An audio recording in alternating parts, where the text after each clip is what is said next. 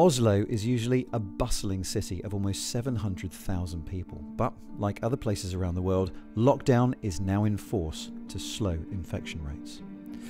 However, outside the capital, it's vital to understand how the epidemic is spreading throughout the rest of the country.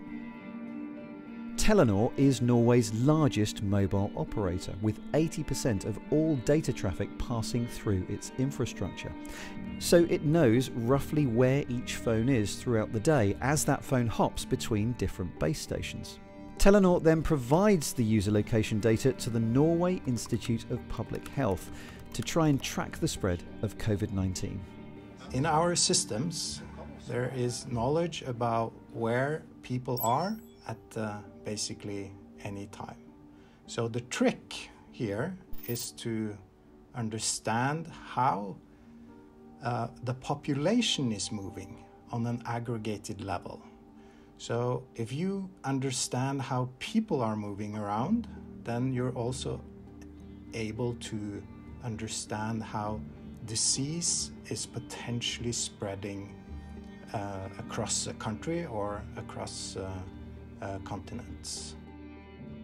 The NIPH takes this data, combines it with other information relating to COVID 19 infections, and then uses a mathematical model that simulates the spread of the virus to try and predict how many cases are expected in each region and when.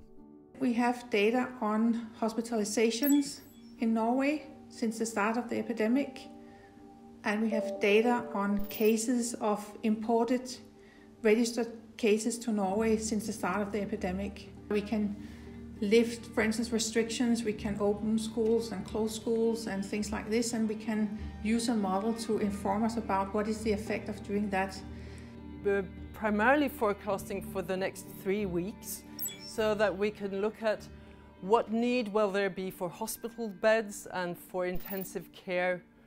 Uh, and that's very important for planning in the health services the effects not only on the epidemic itself, but on public health overall and on the economy and society overall, uh, that we will be able, through modelling, to tackle, uh, manage this epidemic in a much better way than the world has been able to pri during prior epidemics or pandemics.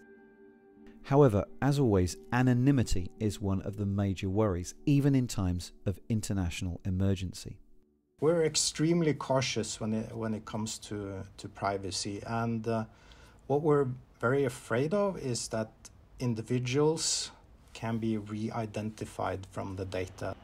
We count only groups of people larger than 20 because we believe it's very, very hard to, uh, to re identify all individuals in groups larger than 20.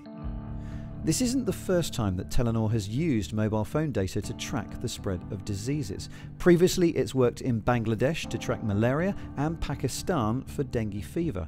The models have helped the governments there design more effective national response preparedness. Around the world, countries including the UK, Austria, Israel, and the US are all seeking to work with mobile operators to adopt similar models to Norway to try and prepare and possibly even contain the virus.